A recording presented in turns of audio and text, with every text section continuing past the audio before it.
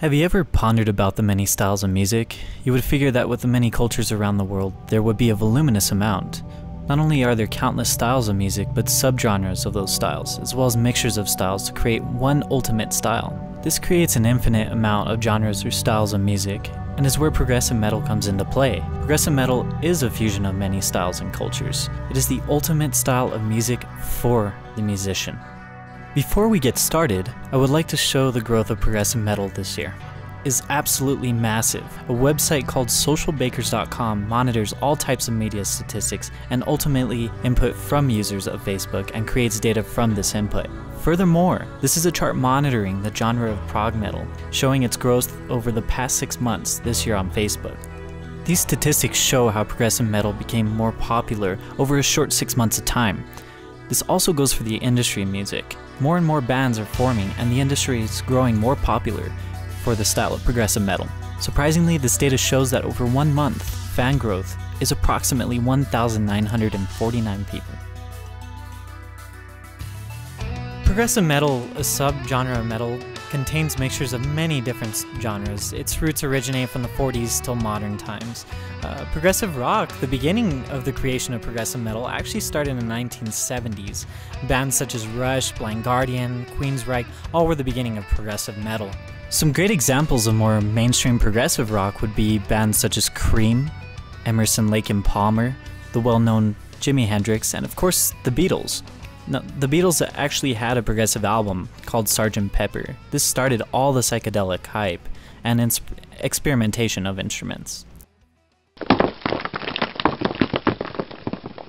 I'd like to go over the introduction to jazz and classical music for better understanding.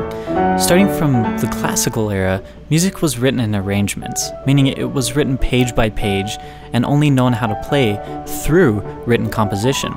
Classical focuses more on the technical side using arpeggiations, multiple scales, different time meters, and different keys. It is a complex arrangement of music and emotion.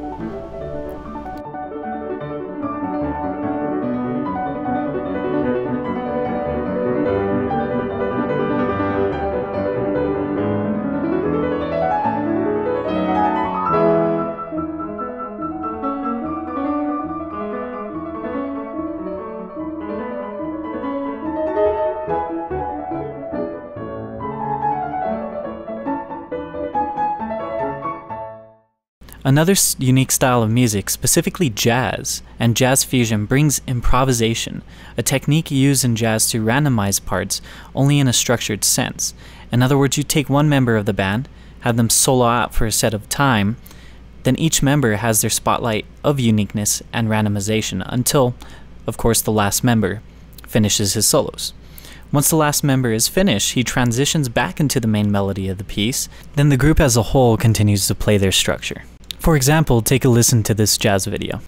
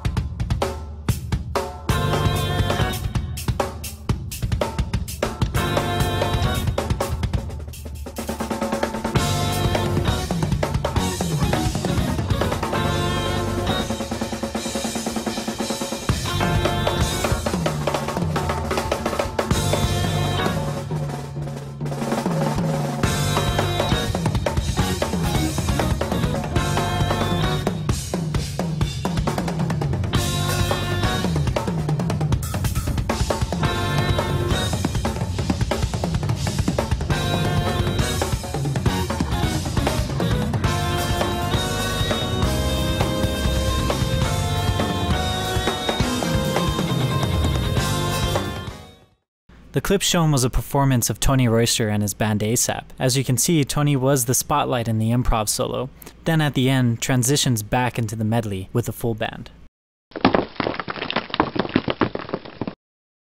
I would like to show you a few interviews and videos on how jazz and classical are incorporated into prog, prog metal, also how metal can be fused with jazz and classical. This will show how metal is not all about screaming and headbanging, but about its complexities and use of educated influence. So even though a complex and underground style progressive metal is, it should be recognized as an art and classically composed style. First, I'm going to show you an interview I did with Dr. Lineberger where he explains how tuning and scales are involved in modern music. My name is Dr. Charles Lineberger. I teach music theory here at UTEP. I have a PhD in theory with minors in trumpet performance and media arts. Great. One of the classes I teach is on the history of uh, tuning and temperament. Okay. Uh, and basically, over the last thousand, uh, about a thousand years or so, as music got more complex and as ex uh, composers experimented more, the old tuning systems of the past, uh, we we have they have names like Pythagorean tuning and just tuning and mean tone temperament, kind of gave way to the modern tuning we use now, hmm. uh, called equal temperament.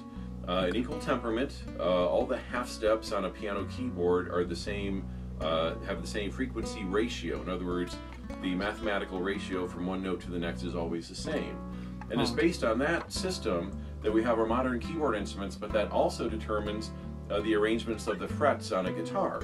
Mm -hmm. Whether it's a classical guitar or a jazz guitar, acoustic, doesn't matter. So those tuning systems that have been designed to accommodate more modern music, mm-hmm. uh, because of, of the needs of the classical composers, those music, uh, those instruments and those tuning systems have made it possible for all the modern music styles that we have, the jazz, uh, rock and roll, uh, heavy metal, uh, and so on, all of them use uh, these instruments, guitar especially, but also keyboards, built on this uh, equal temperament system that evolved from the music of, of what we call classical music, uh, J.S. Bach comes to mind, mm-hmm. uh, where music needed to, to be able to modulate or change key from one key to another key without stopping to retune the instrument. Mm. And it's because of that, those uh, changes of key and uh, the need of a tuning system to accommodate different keys that we have the modern instruments that have made all these different modern styles of music possible. Second, I'm going to show you two people whose lives actually revolve around music. They studied music their entire life. Uh, they played shows. Um, they're always performing. They're pretty much full-time musicians. And I just wanted to see what kind of input I could get and more or less see what they think about progressive metal.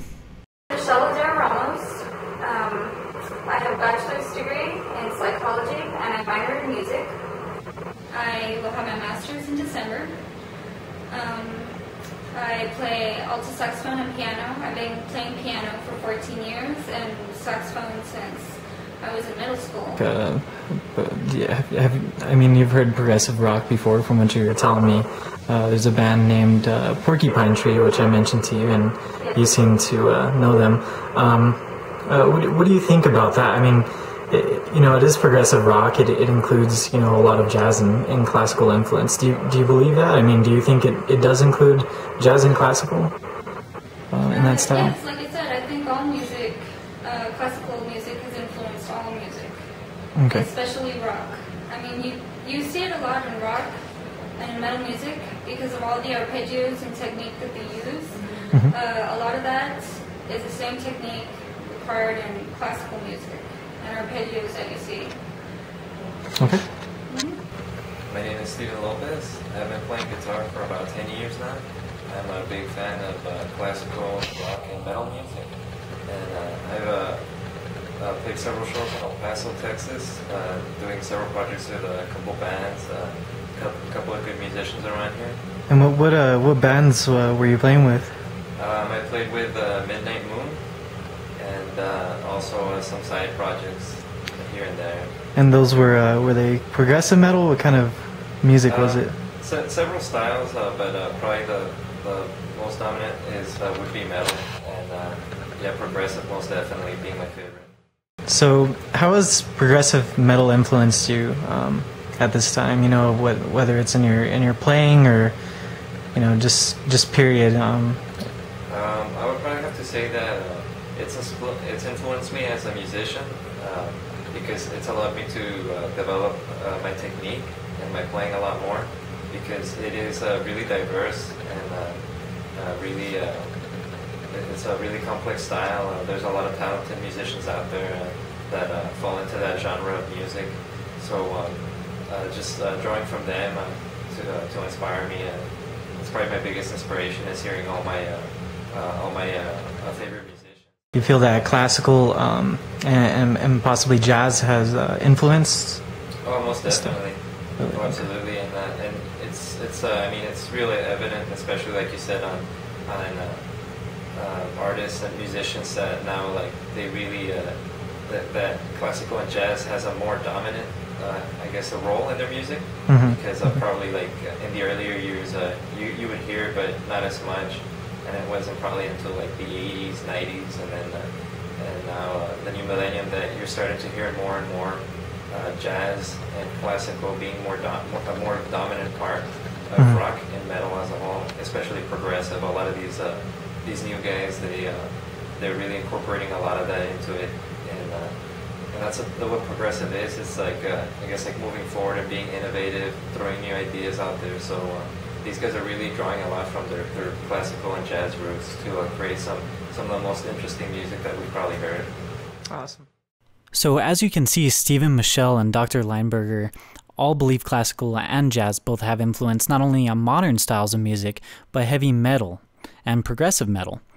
Um, last, I would like to show you a video of a progressive metal band, Dream Theater, to show that all we talked about in jazz and classical is completely involved in progressive metal.